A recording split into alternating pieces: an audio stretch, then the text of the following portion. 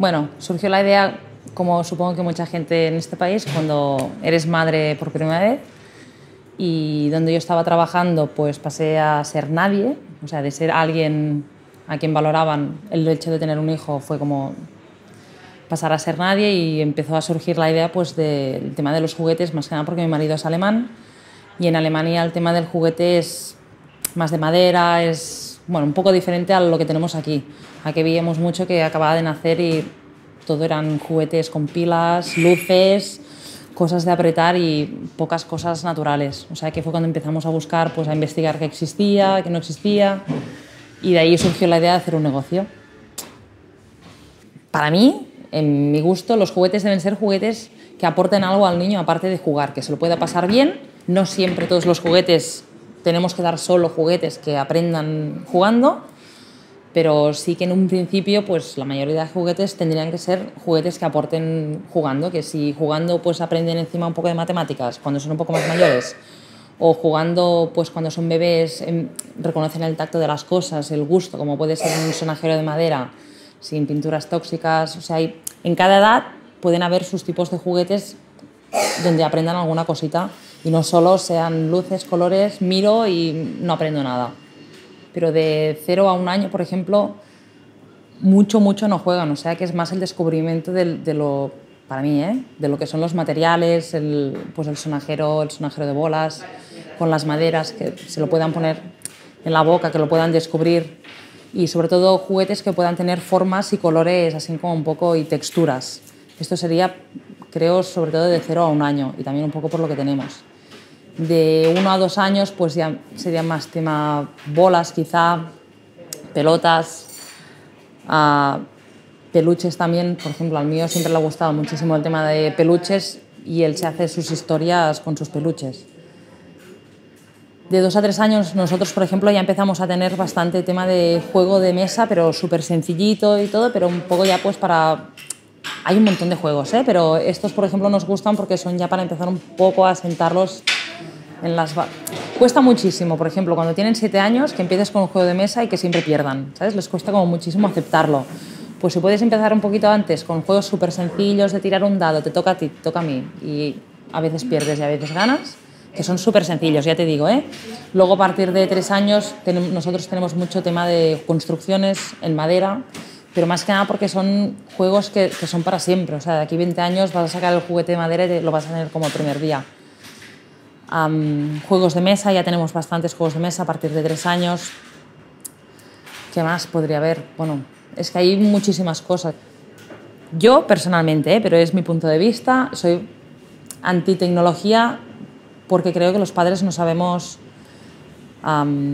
utilizarla bien. hay juegos seguramente que están súper bien, aplicaciones que están muy bien, pero muchas veces como le damos la tablet o el juguete o lo que sea, la PlayStation para que jueguen y se nos entretengan un poco. Y no siempre es lo bueno, o sea, yo creo que tenemos que controlar un poco los tiempos y aparte que los niños ya tendrán la edad de poder jugar con la tecnología. Y hoy en día lo que parece es que con 3, 4 años ya el niño tiene que tener una Nintendo, juguetes de estos electrónicos y se está perdiendo mucho lo que es el tema del juego de mesa, el juego de los padres con los niños. Yo creo que con el tema de la tecnología se está perdiendo muchas cosas de antes. Por eso soy un poco antitecnología en este sentido. Pero no porque sea mala, sino por el uso que le damos nosotros. Para mí jugar es que los niños se lo pasen bien y bueno, es un derecho universal y sobre todo que si, o sea, si jugando aprenden alguna cosa, pues para mí esto es donde se le da el valor a los juguetes y al jugar. O sea, que eso puedan pasar bien, que puedan desarrollar pues, la creatividad, que puedan desarrollar el pensamiento, que puedan desarrollar la imaginación. O sea, muchas veces con los juguetes les ayudamos a eso, a la imaginación y a la creatividad sobre todo siempre salen estudios por la tele en plan, los niños pasan una media de tres horas delante de la tele. Claro, si están tres horas delante de la tele no pueden jugar. Y aparte muchas veces los niños lo que quieren, al menos yo lo veo en mi caso, ¿eh? es que los padres jueguen con los niños. Y como a veces nosotros no encontramos el tiempo para poder jugar, pues los niños tampoco acaban jugando tanto. Y es más fácil abrir la tele que se la miren. Más vale comprar pocos y de más calidad que muchos para voltar porque es un poco lo que hay la tendencia aquí en España desde hace años, es de muy grande y que nos cueste muy poco dinero y si se rompen dos días no pasa nada. O sea, yo soy de la idea de menos juguetes y más calidad en el juguete. Pero bueno, lo dicho, en mi caso, supongo que al tener tienda, pues tenemos muchos juguetes porque siempre acabamos probando muchos. O sea, se tendría que empezar cambiando un poco la mentalidad. ¿no? Es como llega un cumpleaños y si podemos regalar 10 juguetes de poco importe, pero que sea muy grande, ¿sabes? Lo que le enseñamos al niño es como, wow, ¿cuántos juguetes? Quizá tenemos que cambiar la mentalidad de decir, no son, wow, ¿cuántos juguetes? sino qué pasada este juguete. Y si se reúnen 10 juntos y hacen un solo juguete, no, lo importante no es el importe, ni, ni, sino que el juguete sea bueno.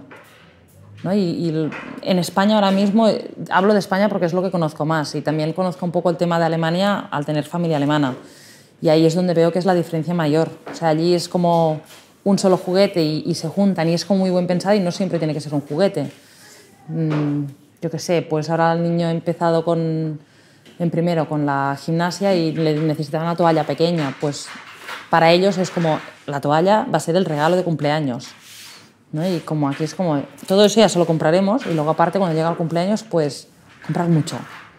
Y no siempre es así. Yo creo que es la mentalidad lo primero que se tendría que cambiar para cambiar el resto de cosas. Yo creo que, nosotros, que los adultos jugamos poco, encontramos poco tiempo para jugar con los niños. Nosotros habíamos tenido una idea que de momento no la hemos tirado adelante, pero era hacer un club de padres con niños y jugar a juegos de mesa para que luego ellos pudieran jugar en su casa con, con sus hijos. Pero bueno, al final no encontramos el espacio y una cosa por la otra no lo hicimos. Pero yo creo que, primero, los padres a veces se sienten ridículos jugando a un juego de niños y aparte no jugamos.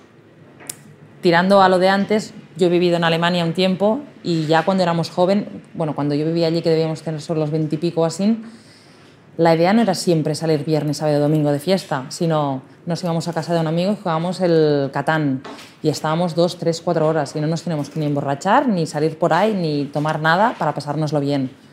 Y nos lo pasábamos súper bien y lo hacíamos muchísimo de ir a casa de uno, a casa del otro, vamos a jugar a este juego, jugamos al otro. Y aquí, yo es que a una hora vienen mis amigos a casa y cuando sacamos juegos de mesa, al principio es como, ¿cómo? Luego les encanta. Y ya muchos vienen como porque quieren jugar con nosotros, pero no somos de tener juegos de mesa para jugar. Seguro que hay mucha gente, pero no es la mayoría. O sea, la idea de este proyecto que estáis haciendo lo encuentro súper interesante y ojalá pueda tirar adelante porque creo que os vais a encontrar, yo creo que depende de los países que vayáis, muchas diferencias. Estoy segura que, el, ya te, mira, yo solo mismo ya conozco lo que es Alemania con, con España y las diferencias ya son muy grandes. Del tipo de juguete que hay, de cómo es la mentalidad de los padres, porque todo influye. De cómo juegan los niños, tiene mucho que ver, supongo, el tema del país, cómo está económicamente. Seguramente en África los niños con tres piedras juegan y se lo pasan en lo grande. Y aquí necesitamos tener mil juguetes. Y luego en el fondo juegan con tres cosas. Y en Estados Unidos ya no me lo quiero ni imaginar. Debe ser uf, la bomba eso. Bueno, no, deben estar todo el día enganchados en la maquinita. También.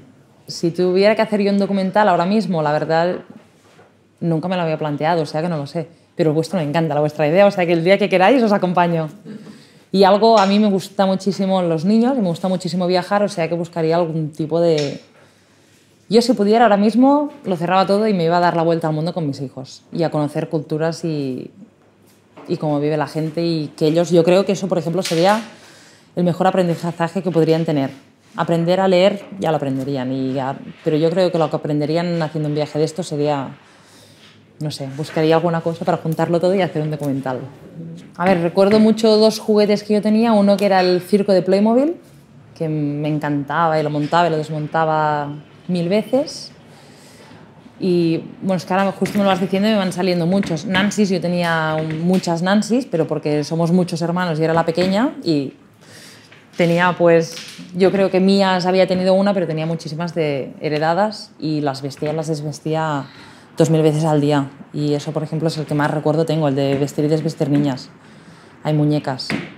Y el del Playmobil del circo, que se, me encantaba también.